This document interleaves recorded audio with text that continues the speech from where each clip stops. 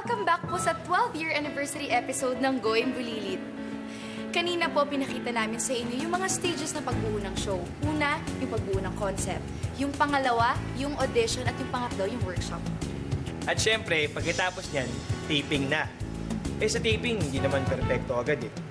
Ako nga nun, unang saba ko, ano eh, perfecto na agad. Eh hindi naman lahat tulad ko.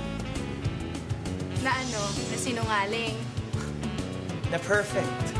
Ano ba naman, Julia? Focus naman. Pero kagaya nga po na sinabi namin, sa taping, maraming pumapalpak. Kagaya po nito.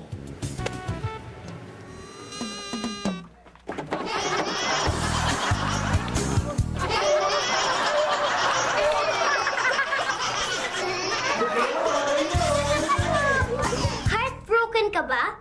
Ipinagpalit ka ba ng... Ah! Dami na nagson!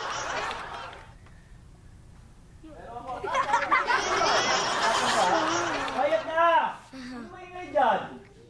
Mom Cory! Eddie, Jurassic Park! Ah! Pero naman ako libro na tungkol kay Dracula. Ibig sabihin, vampira ako. Kita ta! Ay! Ay, sana hindi ako maging makakalimutin tulad ninyo. Nak... All!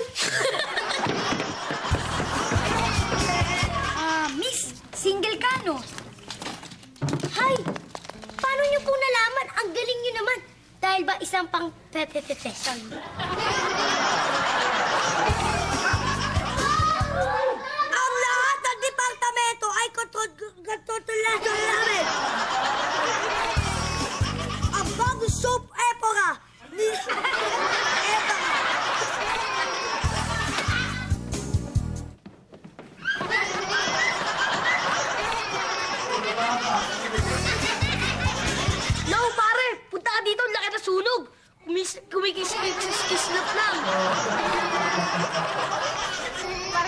minsan, kidlatin ako.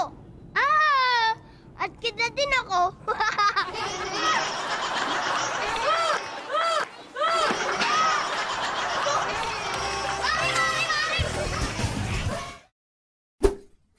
See you next week dito lang sa... Go!